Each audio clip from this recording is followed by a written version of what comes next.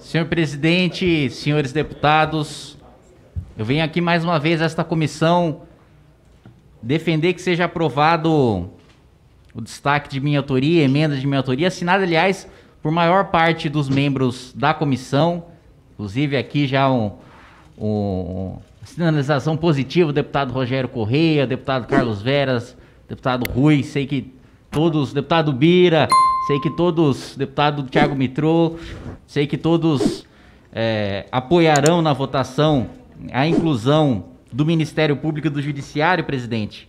E eu venho aqui trazer uma, uma entrevista da Associação de Magistrados da Bahia, que causa, no mínimo, indignação. Né? Primeiro espanto e depois indignação. Por uma série de coisas faladas pela, pela juíza, pela doutora, é, em relação à sua classe, a classe dos magistrados. Primeiro dizendo que juízes são de classe média baixa.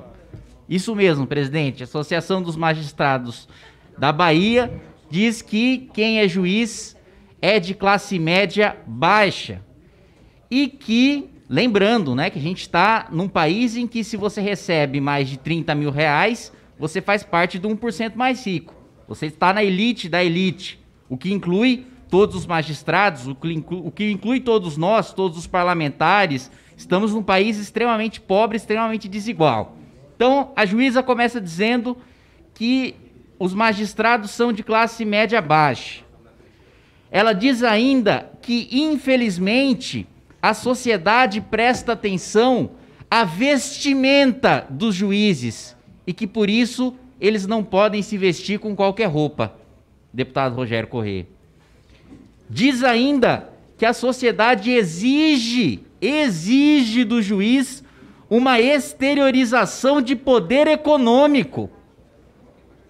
Veja só, com certeza, se eu sair na rua agora, perguntar para um cidadão comum, perguntar para um sujeito que está ali num food truck vendendo marmita aqui para os servidores, se eu perguntar para o sujeito que está vendendo água no semáforo, uma das prioridades do país para ele, com certeza, será o juiz exteriorizar poder econômico. Com certeza, uma das prioridades do país para o cidadão comum será um magistrado mostrar que tem dinheiro. Onde já se viu, se eu encontrar um juiz de chinelo e de bermuda na rua, é a descredibilização completa do poder judiciário.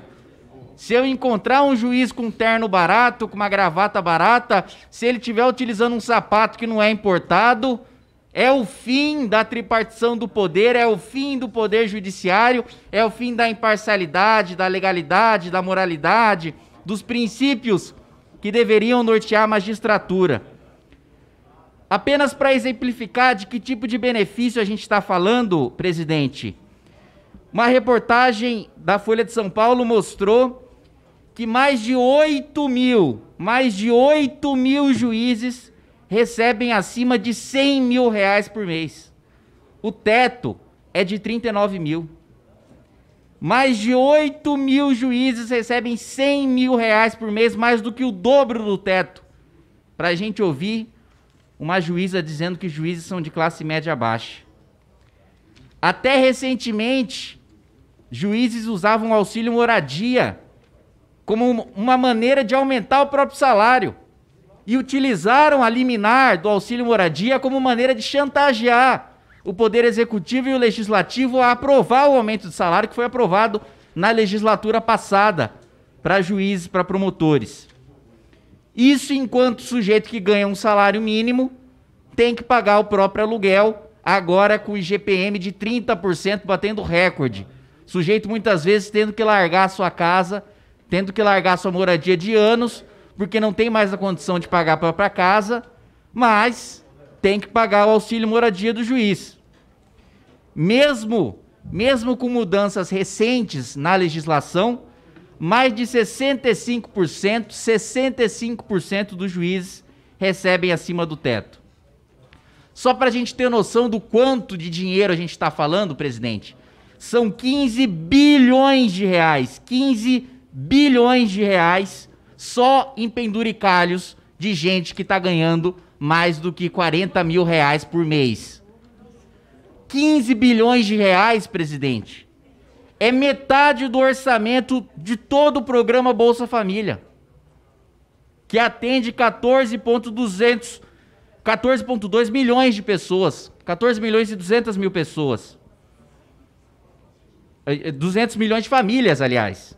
O que totaliza 42 milhões e 600 mil pessoas em 2020.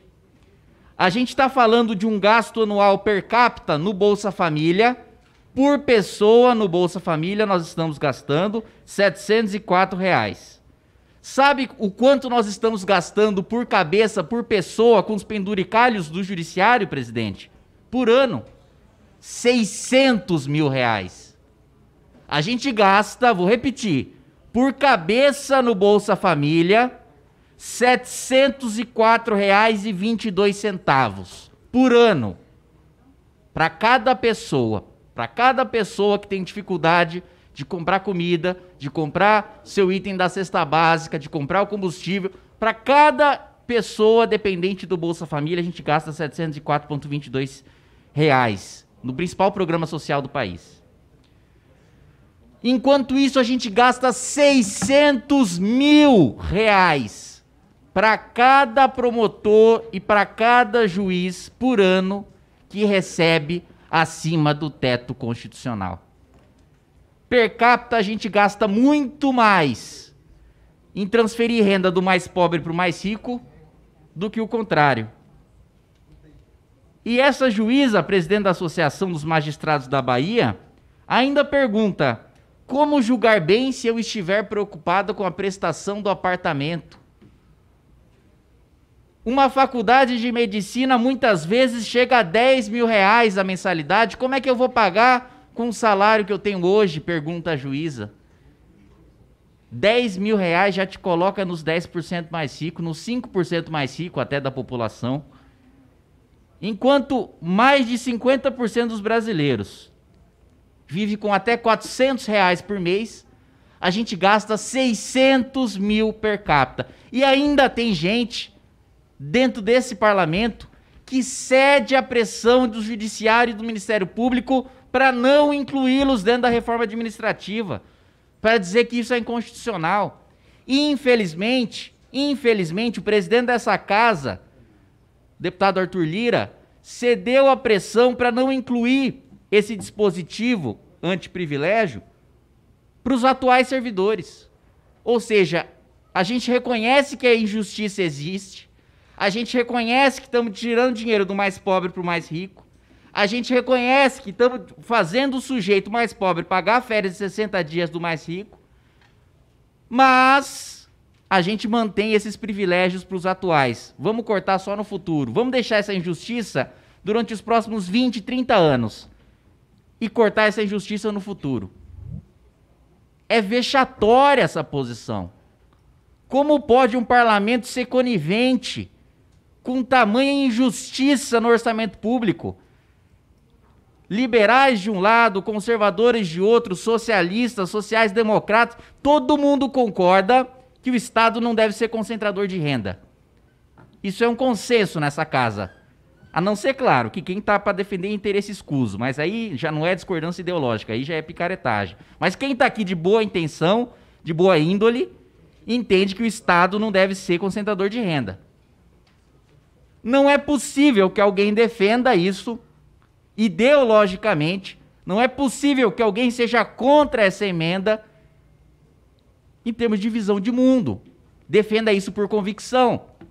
Eu entendo a presidente da Associação dos Magistrados do Brasil vir até essa comissão especial, como veio, e dizer que fim de férias de 60 dias para juízes e promotores é inconstitucional.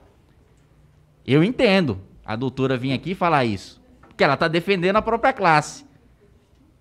Ela está defendendo a própria corporação.